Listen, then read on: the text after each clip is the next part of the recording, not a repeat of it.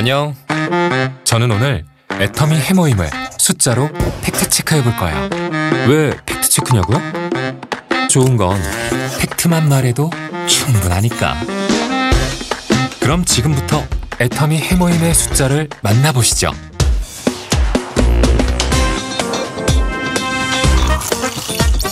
한국원자력연구원 8년간의 국책연구로 시작했죠. 무려 50억이라는 어마어마한 연구비를 투자. 면역의 시작이라면 이 정도쯤은? 열심히 연구하다 보니 한국, 미국, 일본, 유럽 4개국 등 전 세계에서 총 21개의 특허를 받았네요. 우리나라에서는 면역 기능 개선에 도움을 줄 수 있는 개별 인정형 건강기능식품 원료 1호로 인정받게 되었어요. 미국, 싱가폴, 호주, 멕시코, 러시아 등 전 세계에서는 이미 해모임의 새로운 면역을 경험하고 있다는 사실. 좋은 건 알아가지고. 7년 연속 업계 단일 제품 매출 1위.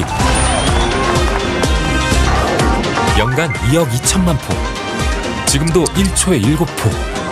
1시간에 419박스가 판매되는 해모임이랍니다. 숫자가 보여주는 면역의 힘을 지금 경험해보세요. 오직 면역을 위해 애터미 해모힘.